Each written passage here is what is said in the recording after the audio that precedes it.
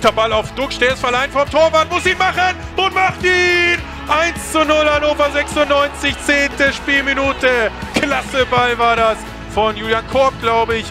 Detti kann jetzt in den 16er ziehen, ist in dem 16er rechts. Und Tor, Marvin Duxch, 1 zu 0! Ganz starker Angriff über die rechte Seite.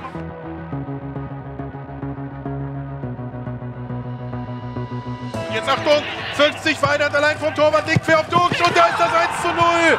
Das 1 zu 0 in der sechsten Minute nach diesem Riesenbock, nachdem der St. Paulianer da wegrutscht. Da bin ich gar nicht mitgekommen, da muss ich mich für entschuldigen, aber auch plötzlich ist Weidern da.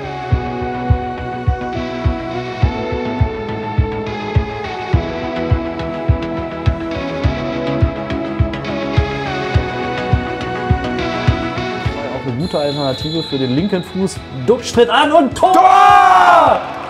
Rechts oben der Torwart der Dreves chancenlos. Was für ein gut getretener Freistoß von Marvin Duxch. Wir haben es angesprochen, Selbstvertrauen ist da.